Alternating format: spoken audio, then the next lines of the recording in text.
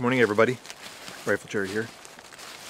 This is uh, going to be another shooting video, but not the kind of shooting video you're probably used to. Probably not used to seeing from me. I'm currently on a rifle range. Very old rifle range. You can see in the background, it's forested. How could it possibly be a rifle range? Well, this is a range from World War II. I'm quite often asked, Richard, what does Maple Leaf Up stand for? You know, it's my catchphrase. Well, I'll tell you what, I didn't think of it. Many years ago, I'd heard people use the term Maple Leaf Up, and I never really knew what it meant. And um, I decided I wanted to find out what it meant, because I liked it. I liked the sound of Maple Leaf Up sounds positive. Go Canada kind of thing, right? So here's what it means. A few of you have asked as well. After the invasion of Normandy, Canadians from Juno Beach ventured eastwards, southwards into Western Europe and into France, into Holland, into Western Germany. And the 1st Canadian Army was the spearhead of kind of the Canadian contribution. And they had to be resupplied. So they figured out a way of signing various roads so that uh, munitions, resupply, uh, reinforcements, uh, food, all the things you need to keep a, an ever-shifting front line active and on the go and progressing all the different things that you need. You need transport corridors to, to sustain and maintain equipment and men. And so they developed a sign system. It's called the Maple Leaf Highway. In order for you to get towards the 1st Canadian Army, you'd have to follow the signs that said Maple Leaf up. And you were loaded with supplies if you wanted to return to France and to the shore, you had to follow the highway maple leaf down. And they were all signed, all signed with a big maple leaf on them. If you're empty and you're going maple leaf down, you were going to resupply uh, Western France, or you were probably loaded as an ambulance with wounded soldiers. Maple Leaf up, you're heading towards the war. You're heading towards victory. Maple Leaf down, you're going in the opposite direction. So my catchphrase is Maple Leaf up.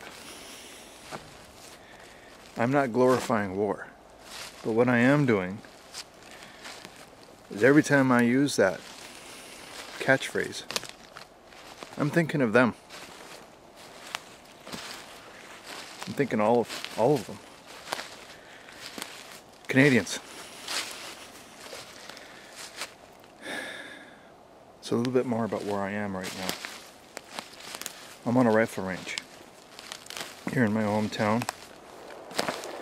This whole area was originally bulldozed flat and it was a 600 yard military range with mounds every 100 yards. And uh, I'm going to show you one of the mounds. Sorry, I'm drinking my black coffee.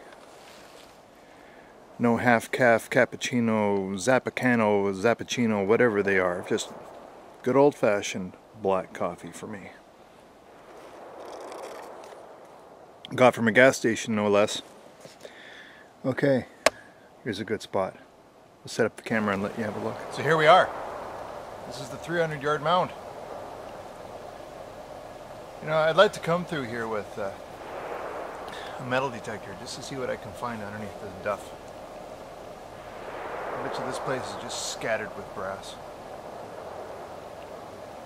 Can you imagine Canadian soldiers run up and down these these lanes carrying Enfields and Bren guns and support weapons and plopping themselves down on this bank here and engaging a target It kind of puts me in touch because this is history This is something I can touch, I can visualize, being a person who's shot on military ranges quite a bit in the past. But going back to the 1940s and being able to visualize them doing it, it's kind of a special place for me.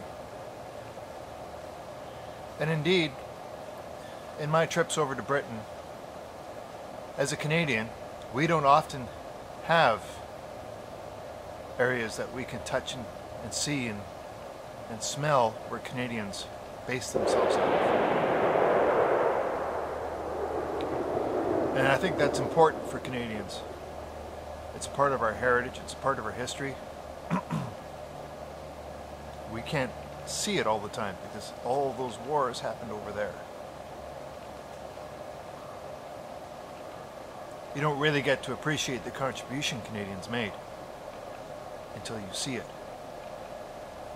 Until you see the tombstones.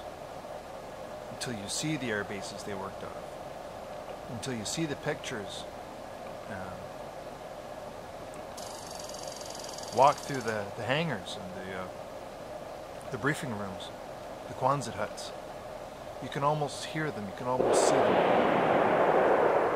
That's the kind of history I'm talking about. And if you ever have the opportunity to go to a war memorial over in Britain or in France, do it. It will enrich you as a Canadian or as an American. And you'll walk out with a different perspective on your country.